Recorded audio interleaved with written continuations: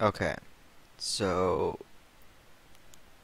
two days ago, it was announced that Mortal Kombat, the Bulgarian team, was disbanding yet again. This is, at minimum, the third time that they've disbanded this core of players. Now, I think this brings up a topic which I think is worthy of commenting on. That being just what, what I'm calling Bulgarian self harm.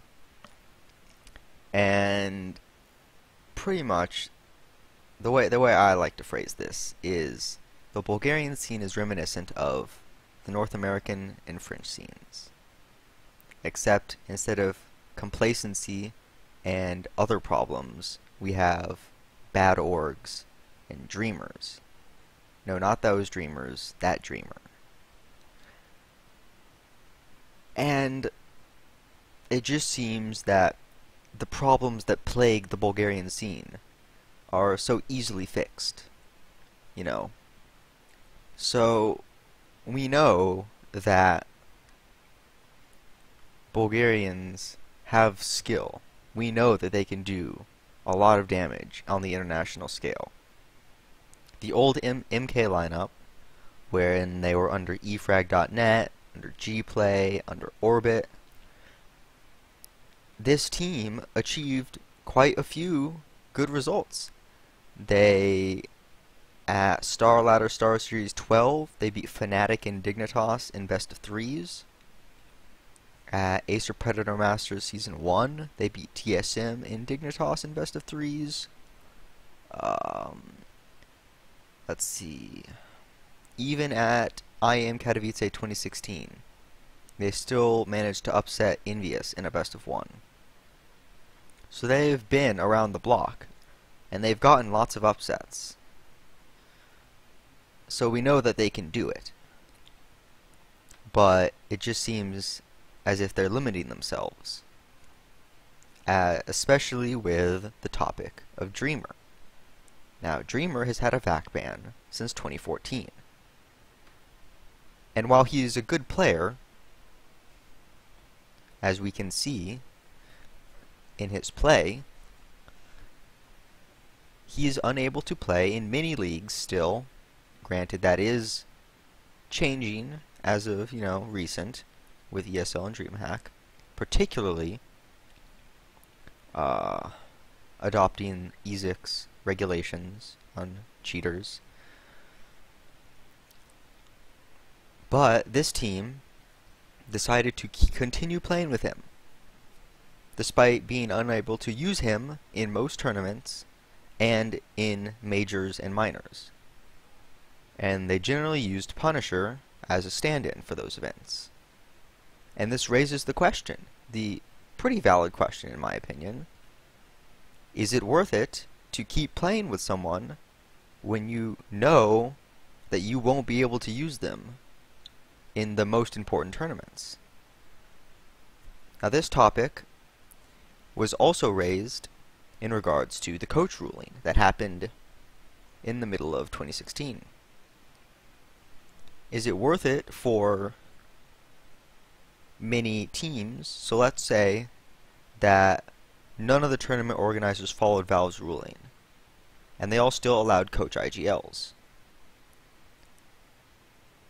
Then is it worth it for a team to continue to use a coach as their in-game leader for all the other tournaments when they know they're not going to be able to use it at a, at a major? And for most of those teams, as far as the coaching goes, they thought it was not worth it. And so we saw teams and in-game leaders, teams with in-game leads rather, rise through the ranks. And IGL's weight just increased exponentially, as you can see with players like Zeus and MSL and Fallen and the like. And you also see how Navi fell off a cliff after that happened. But the MK guys thought it was worth it to keep playing with Dreamer. They valued the friendship or relationship or whatever they had above being able to compete at a high level. Which is a not a terrible thing to do inherently, but it is holding you back. It is preventing you from doing bigger and better things. And after they disbanded the first time, the at the time of this disbandment, the two best players from Bulgaria, Bubble and Victor, went to an international team. They exited the Bulgarian scene. Now, how well does it look for your scene when your two best players leave? Based on internal issues in the team. That doesn't look good at all. Once they finally came back and they reformed MK, we we've already seen the rise of Outlaws. The team that had CeRq and Nikki One and SPELLAN and all those guys, they rose through the ranks and they were getting big upsets, you know, online. They were making it deep into qualifiers. And at this point, just at the point when they were reforming MK, Outlaws looked like they were the best team in Bulgaria. And Spy Leader and his team were not the best anymore, even with Bubble and Victor, under their new org of Imperial. Now, people caught on quickly, and they saw this Outlaws team. They're like, oh, this CeRq guy is good and CeRq got poached. Not necessarily poached, but he was signed by NRG. Well, it was kind of a poach because there was the whole NRG Outlaws debacle, which is another topic. The, uh, yeah, that's another topic for another day. The terrible orgs from Bulgaria. But once CeRq left, the entire Bulgarian scene just started to, to fall down, and just everything was going horrible no one had a stable roster, and no one was working together. There was no inter-team communication here to create a better team. Now, we've almost got this with X Outlaws, the team that SPELLAN started and got um, NickyOne and Bubble and SHiPZ and Punisher. This team is approaching it, because finally, the Outlaws guys are mixing with the MK guys. And at this point, this is probably what needs to happen for them to create, you know, the best possible Bulgarian team. Because you've got Bubble and Victor, still two really good players. And you've also got now SHiPZ and Nikki One, who have shown themselves to be very good as well. And you see them there, you know, staying separate because of whatever political internal reasons. And sort of holding them, themselves back. Right?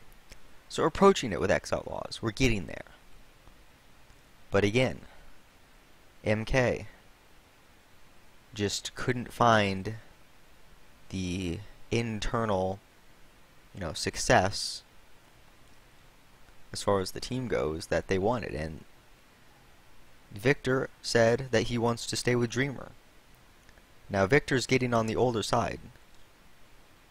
I think he's 26 or 27 at this point.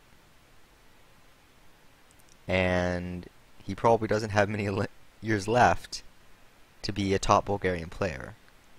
And if he wants to play with Dreamer, then I guess that's fine.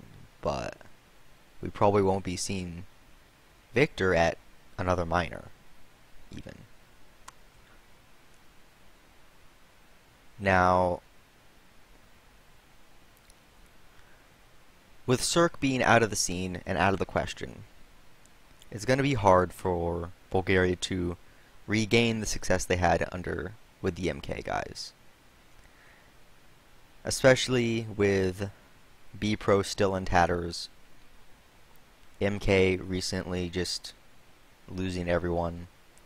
That team, uh, Spy Leaders, is keeping the spot in Premier, in, in MDL, and playing just as a mixed team. And so we've got we've got these two teams. We have we have Prophecy, but we're not going to really deal with them because they're having fun in the UK, wrecking on some Brit teams. But we have X Outlaws. They are essentially the hope of Bulgaria at this point. Here, this this might even be the the new video title. I was gonna I was gonna title this Bulgarian self harm. I might now title it X Outlaws: The Hope of Bulgaria. Because like this is the best we've got, right?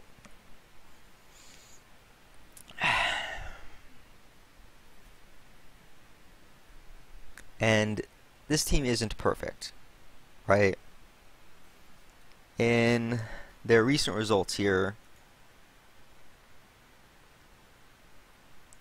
they lost to Nemiga, the Belarusians, who, you know, are a good team in their own right, but based on the results that Bubble in particular has had in the past, I mean, this is, you know, not that great.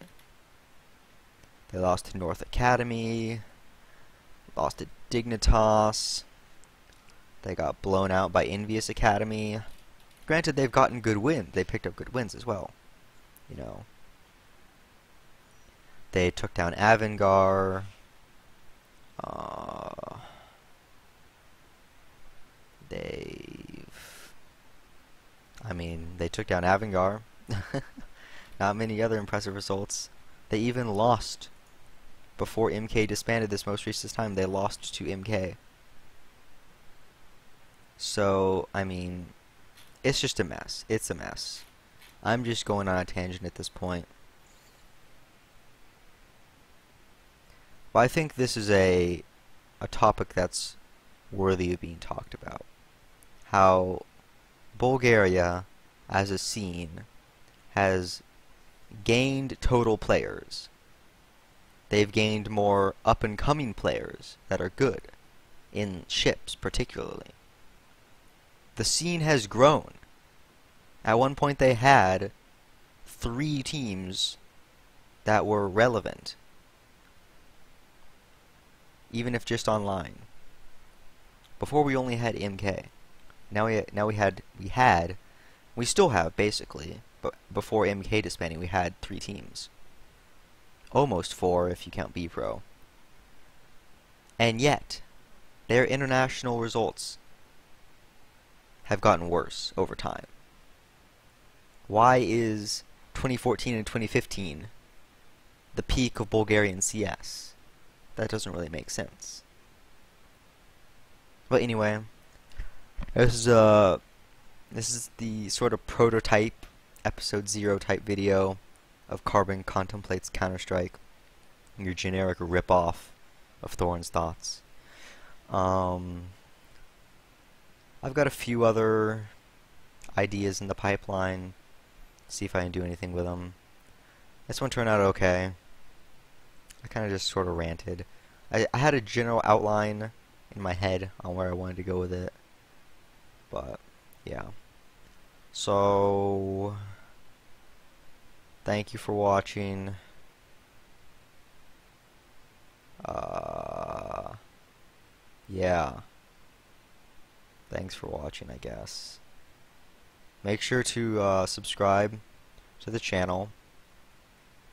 I know it has a lot of old cringe stuff on it, but I'm not to take it down because it's, you know, it's part of the Carbon Dogma history. but I thought this would be an interesting video. I hope it's interesting, and it's not just lame and boring, and me talking about random shit, because it's not random shit. It's the country, the nation of Bulgaria in shambles. Anyway, okay, I'm done. Goodbye.